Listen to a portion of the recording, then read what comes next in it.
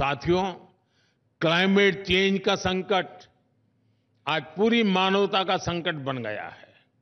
इसमें भी भारत लीड लेने की कोशिश कर रहा है। ग्लोबल क्लाइमेट चेंज में हमारा कंट्रीब्यूशन न के बराबर है। फिर भी भारत में हमने ग्रीन ट्रांजिशन को अपनी ग्रोथ का फ्यूल बनाया है।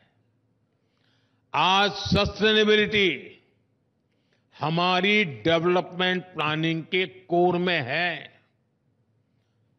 आप हमारी पीएम सूर्यगर मुफ़्त बिजली योजना को देख लें। खेतों में सोलर पंप लगाने की स्कीम को देख लें।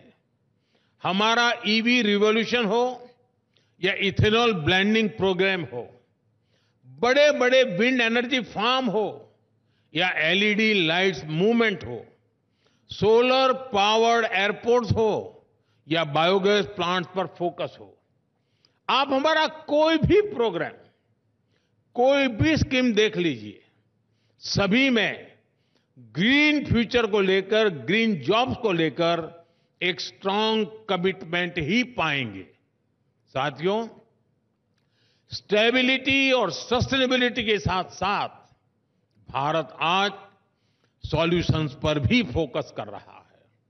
बीते दशक में भारत ने ऐसे अनेक सॉल्यूशंस पर काम किया है, जो ग्लोबल चैलेंजेस से निपटने के लिए ज़रूरी है।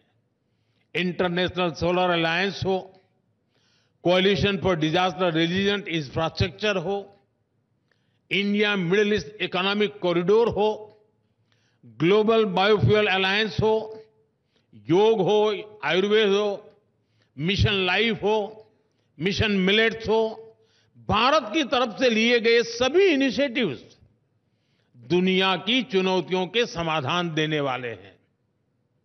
साथियों, मुझे खुशी है कि भारत का बढ़ता सामर्थ्य दुनिया की बेहतरी को सुनिश्चित कर सक रहा है। भारत जितना आगे बढ़ेगा, दुनिया को उतना ही फ़ायदा होगा।